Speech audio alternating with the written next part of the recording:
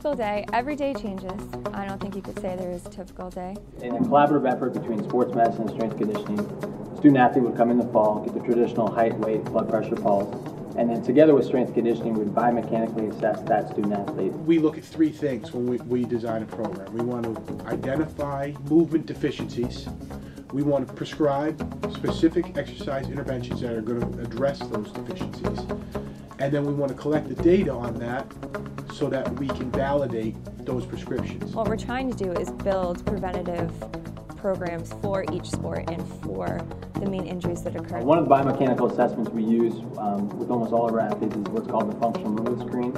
Uh, it comprises of seven tests. Just communicating on what injuries each athlete has so when they go into the weight room, Dan, Joel, Mike, they know how to proceed. We're always evaluating our programs based off of injury rates. We can't look at wins and losses. The data gathered from the biomechanical assessments initially will enable that student athlete to hopefully achieve success here at Northeastern. I think we've just continued to, to look at the numbers, uh, look at the, the research, and apply the, you know, the science to our training. We collaborate with our strength conditioning staff and assess every single one of our student athletes. We let the strength and conditioning team know what we see and what we think would benefit the athletes. The program's evolved year after year. I mean, and it will continue to do so. We just want to keep the collaboration strong between sports medicine and strength and conditioning.